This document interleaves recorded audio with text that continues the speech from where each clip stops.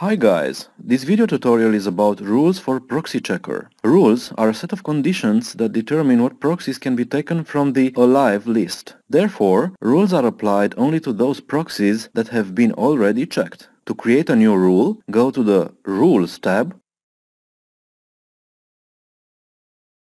and click on the New button. A new rule will emerge at the assembly panel. Drag the required components there and configure them in the Component Properties panel.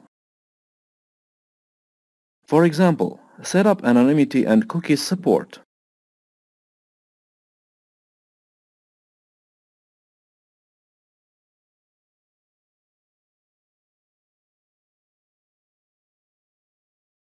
As soon as the components are set, press the Save button and enter a rule's name. The rule will appear in the list of rules. The saved rule can be modified or deleted later by pressing the corresponding buttons on the top of the rules window.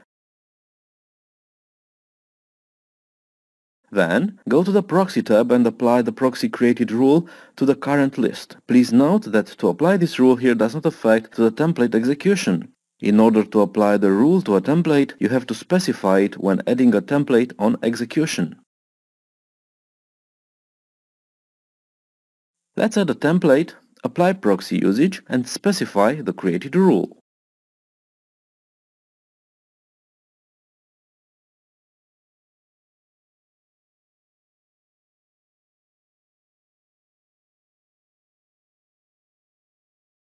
Now templates are executed using a proxy and the proxies are taken in the accordance with the rule. That's all by now.